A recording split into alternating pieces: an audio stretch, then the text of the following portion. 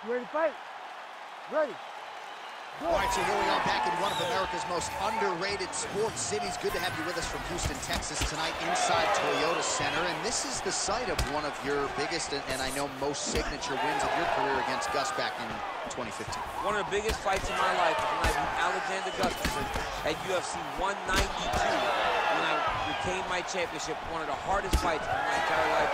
The Toyota Center is a great fight arena.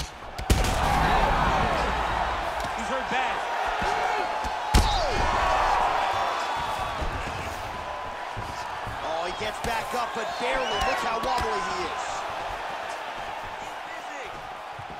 Just misses there with the left. Looked like he flipped him with a left-hand counter there. There's that jab from Max Holloway.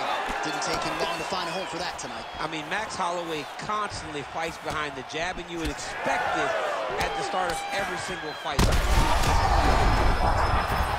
heard him again.